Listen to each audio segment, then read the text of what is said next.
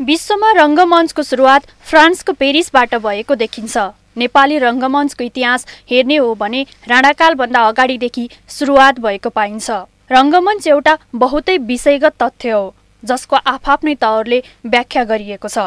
लोक परम्परामा आधारित निकै पुराना थान नाच बालन सोरठी आदि नृत्यले पनि नेपाली रङ्गमञ्च परम्परालाई थप मजबुत बनाएको छ। कसैले जीवनलाई रङ्गमञ्च मान्दछन् त कतिले जिन्दगीलाई जे जसो भए पनि अभिनय सङ्गीत कला र संवाद अनि साधनाले रङ्गमञ्चलाई मानवसँग अति निकट मानेका छन्। आफ्नो जिन्दगीलाई नै रङ्गमञ्चसँग तुलना गरेका केदार श्रेष्ठ विश्व रङ्गमञ्च दिवसलाई आफू जन्मेको दिनको रूपमा समेत लिने गरेको बताउँछन्। रङ्गकर्मीहरूको एउटा दिन हो होइन? रङ्गकर्मीहरूको दिन हो अघि भर्खर पनि हामीले भित्र कुरा गरेका थियौँ। चाहिँ हामी आफै जन्मेको दिन जस्तो लाग्छ क्या यो हाम्रो आफ्नो जन्मदिन जस्तो लाग्छ।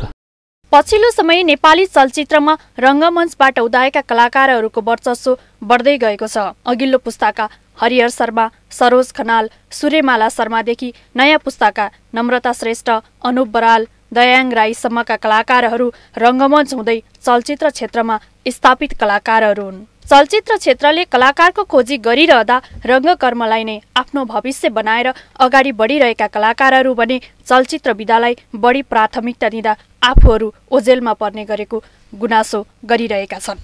नाट्य विधालाई सीमित क्षेत्रमा मात्रै हेरिँदा वास्तविक कलाकारहरू ओझेलमा पर्ने गरेको रङ्गमञ्चका कलाकारहरू बताउँछन्।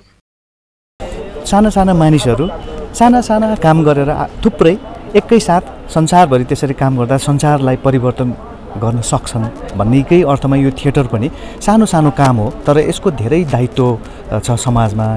नेपालको सामाजिक अनि राजनैतिक परिवर्तनमा नेपाली रङ्गमञ्चको ठुलो भूमिका छ। अहिले पनि रङ्गमञ्चलाई आधार बनाएर अगाडि बढ्छु भन्दा सहज परिस्थिति भने सबैको छैन।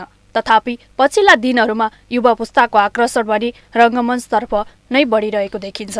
माउन्टेन टेलिभिजनका लागि क्यामेरामा प्रदीप आचार्यका साथ पुष्पा पोखरेल काठमाडौँ।